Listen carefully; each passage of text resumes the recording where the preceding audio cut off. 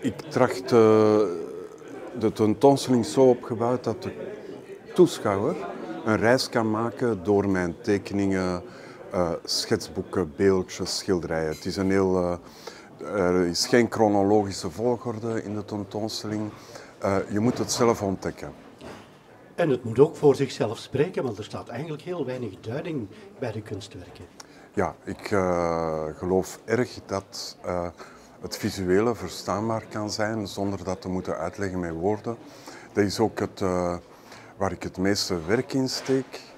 Uh, in de zin dat het nadenken, hoe, hoe dat ik iets kan visualiseren, in beeld brengen, daar kruipt eigenlijk het meeste tijd in. Dat is de moeilijkste oefening. Dan het maken daarna, dat is uh, makkelijker daarom niet, maar toch het belangrijkste is dat idee, hoe kan ik iets vertalen in een beeld dat het eigenlijk goed begrijpbaar is voor vele mensen. Ja, je brak ook een lans voor het onderwijs, dat men wel leert lezen en schrijven, ja. maar niet kijken. Ja, ik vind dat een heel groot probleem. Want eigenlijk is dat, ik denk het kijken het, het belangrijkste zintuig. Een kindje wordt geboren en kijkt eerst rond. De taal komt maar veel later. En wij besteden zoveel uren van onze dag uh, of je nu op de tram zit of te voet gaat of met de fiets of uh, in de file staat of op een trein zit, uh, moest je leren kijken, dan zou je al die momenten op een heel boeiende manier kunnen invullen. Je verveelt je nooit als je kijkt. Ja. En dat is iets dat vergeten wordt. Je haalt ook wel actuele thema's aan. Denk ik aan water, vluchtelingen. Ja. Dat zijn zaken die bespreekbaar moeten worden?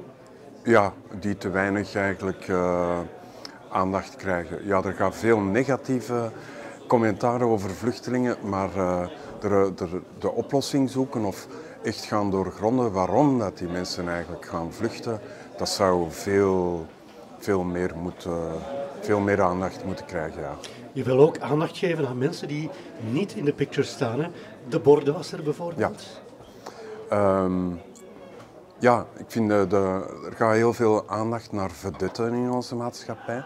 Men creëert ook de BV's enzovoort. En ik ben dat soms wel beu. Ik, vind, ik hou niet zo van personencultus. En men zou veel meer aandacht moeten geven aan.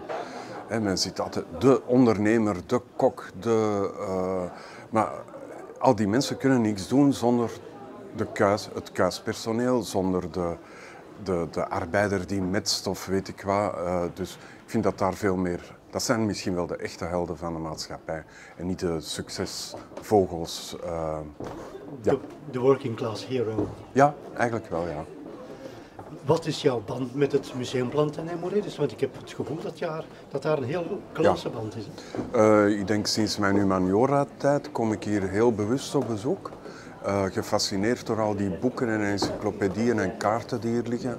Heel de geschiedenis daar rond ook. Dat is, een, uh, dat is nu echt een, een fantastisch verhaal van de familie Plantijn, die migranten waren, in Antwerpen aankomen, uh, de meest succesvolle drukkerij oprichten voor vele eeuwen.